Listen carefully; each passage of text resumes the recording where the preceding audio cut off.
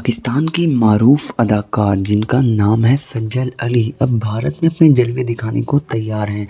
याद रहे कि पाकिस्तानी अदाकार वक्तन फ़वक्तन भारतीय मूवियों में आपको नज़र आते रहे हैं और उनकी अदाकारी के चर्चे पूरे भारत में मशहूर रहे हैं। हाल ही में पाकिस्तान की एक और अदाकार, सज्जल अली, भारत में अपना डेब्यू करने के लिए बिल्कुल रेडी हैं।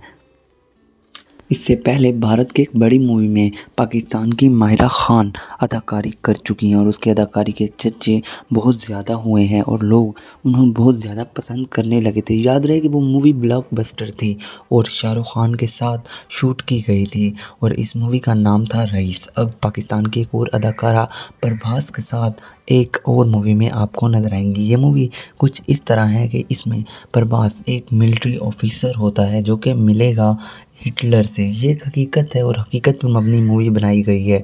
इस हकीकत में ये है कि वाक्य ही एक, एक एक मिलिट्री ऑफिसर मिला था हिटलर से इंडिया का और ये उसी पर सारी फिल्माई गई है। और याद रहे, इस मूवी में कोई भी ऐसा फैक्टर आपको नज़र नहीं आएगा जिसमें पाकिस्तान के ख़िलाफ़ कोई बात की गई हो या कोई भी ऐसा फैक्टर नज़र नहीं आएगा जिसमें हिंदू या मुसलमान इनके ख़िलाफ़ कोई बात की गई हो या ऐसा कुछ शो कराया गया हो।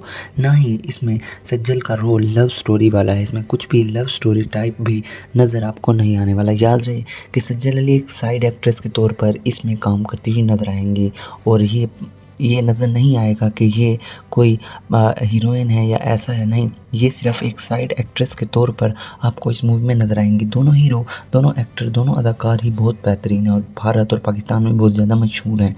याद रहे कि साउथ की मूवीज़ आजकल बॉलीवुड को भी पीछे छोड़ रही हैं और इतनी बेहतरीन मूवी दे रही हैं कि बॉलीवुड भी आजकल उनमें काम करने पर मजबूर हो गए हैं। साथ ही पाकिस्तानी अदाकारा की एंट्री साउथ मूवीज़ में बहुत बड़ी बात है और तकरीबन ये पहली पाकिस्तानी अदाकारा हैं जो किसी साउथ मूवी में नज़र आएँगी। इससे पहले पाकिस्तानी अदाकारा ने बॉलीवुड में, हॉलीवुड में और लॉलीवुड में तो काम किया है, लेकिन साउथ मूवीज़ इंडस्ट्री में पहली बार कोई पाकिस्तानी अदाकारा नज़र आने वाली हैं और वो पाकिस्तानी अदाकारा हैं सज्जल अली, जिनका नाम सुनकर बहुत सारे लोग बहुत ज़्यादा हैरान हो गए।